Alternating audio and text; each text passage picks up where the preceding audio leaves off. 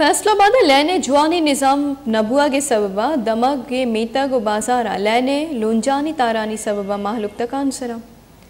दिलगोश कने नवाज़ तबस्सुम रिपोर्टर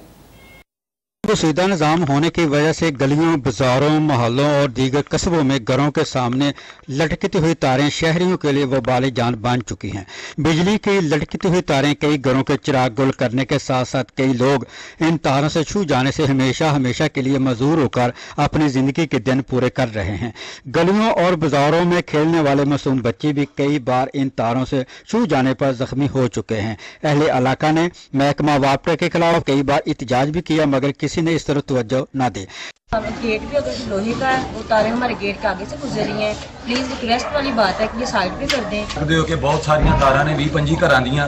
ਉਹਨਾਂ ਦੇ ਵਿੱਚ ਹੀ ਗੈਸ ਦੀ ਜਿਹੜੇ ਪਾਈਪ ਨੇ ਉਹ ਵੀ ਉਹਨਾਂ ਦੇ ਵਿੱਚ ਨੇ ਜਿਹਦੀ ਵਜ੍ਹਾ ਤੋਂ ਰਾਤੀ ਸ਼ਾਰਟ ਸਰਕਟ ਹੋਇਆ ਤੇ ਕਾਫੀ ਸਾਰਾ ਇੱਥੇ ਬਹੁਤ ਵੱਡੀ ਅੱਗ ਲੱਗ ਗਈ ਹੈ